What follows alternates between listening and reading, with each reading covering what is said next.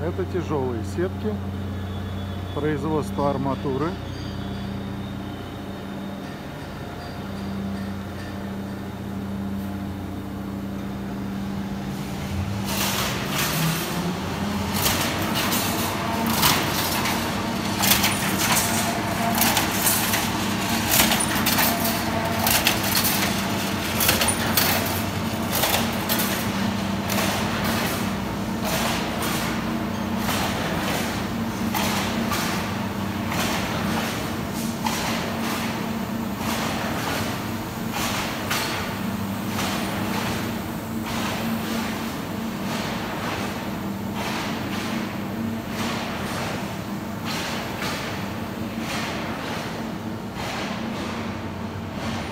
Готовая продукция под тяжелые сетки.